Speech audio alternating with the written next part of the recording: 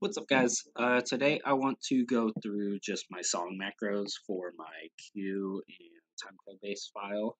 Uh, so yeah, I just want to go through this macro. All these are the same macro, just corresponding to user variable. So I will go through that really quick. Uh, so I'm also going to uh, put the XML file in the uh, description. So if you don't feel like going through and having to recreate all this, it'll be right there. Um, with a little bit of info as well. So cool. Let's get straight into it. Uh, first line of the macro is off page 1 through 99. Uh, that'll turn off all of your pages. Uh, so if you're over here, look at your pages, it'll just turn everything off up to 99 for me because I don't use anything past that. Uh, uh, second line will set your user variable to uh, current song is song one. Uh, that's placeholder name, so you'll have to go through and change the name here. Uh, make sure you don't get rid of the uh, quotations. You're going to need to use those. Um, then here is selecting the page with that song name. So you'll have to rename the page right here to whatever that song name is. Um, oh, yeah. So then you'll also have to rename your executor uh, to that song.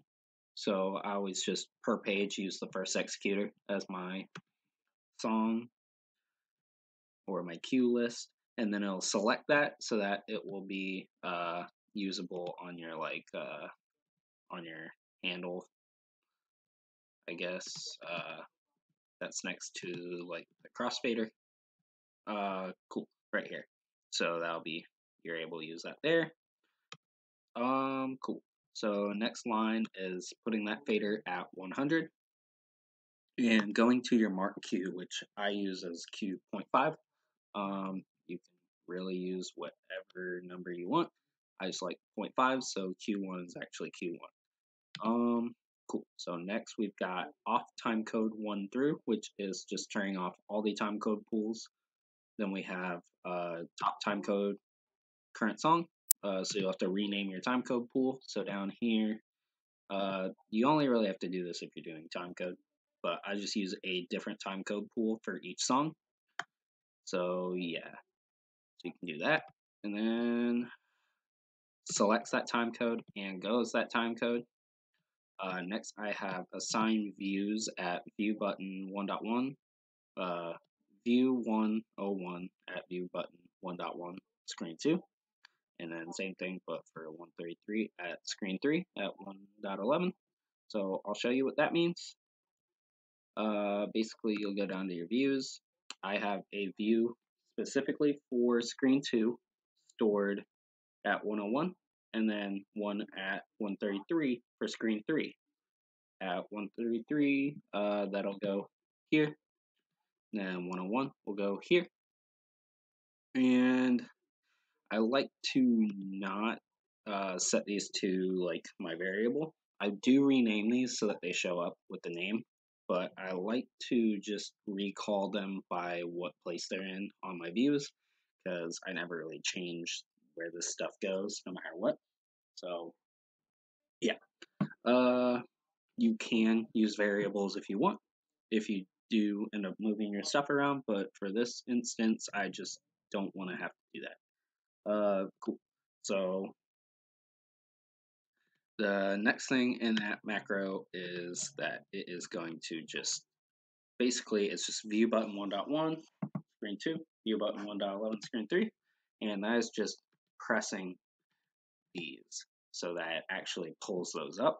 Because if you don't press them, then it doesn't actually pull up the uh, the view until you do press it. And I just don't want to have to remember to press it every time or accidentally be on a different song and then be changing things or going through the wrong cue list or something. So yeah, uh, or more so, I'd be watching the wrong cue list because the other macros would be making do stuff on the correct cue list, but I don't want to be watching the wrong cue list. So make sure you hit those. Uh, next, I will delete view button 1.2 and then assign macro 2 there. So that is taking this macro, which is just the next song, and putting it right here. And each time on each song, I have it do that so that I always have the next song. Uh, and that's that's where I do use the uh, user variables is so that I can reorder that, but uh, but make sure I'm recalling the same stuff every time. Uh, so yeah, just the next macro, it'll do macro 3, and so on and so forth. So I can just move these macros around. And that's why I don't have it do the variable. Instead, I just make it the next one so that I can reorder throughout the list uh, per show or whatever. So if something does change, all the information stored within the macros is correct and the order doesn't matter that way, but more so it's just whatever order I put the macros in on my song list. Uh, cool. So next, I basically just do, so that's just the next song macro on the screen too. And I do the same thing, but for view button 11.40, which is down here at my user two list. It's just the same thing right here. And I also have one that's always song one that just takes me back to the first song. So then I also had I have one that was my fixed page. Uh, I guess not, but my fixed page is also my punt page. So I'm actually gonna rename that. And I'm going to, actually, no, I'm not gonna rename that because I also use variables there.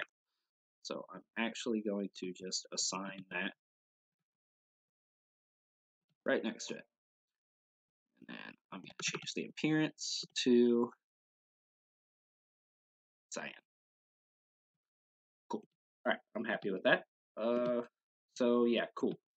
Um, yeah, so that's pretty much it on the song macros. Uh, pretty much each song just renames things and uh, as far as the views, it just takes the view from wherever I have it stored. And I always just keep each song stored in the same place and don't worry too much about naming because sometimes that's the last thing I want to worry about is renaming stuff like that if I'm in a pinch. So, yeah.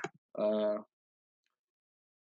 cool. So, I don't think there's really anything else left. So, if you enjoyed this video, drop a like or a sub. And uh, again, I'll throw that XML in the description.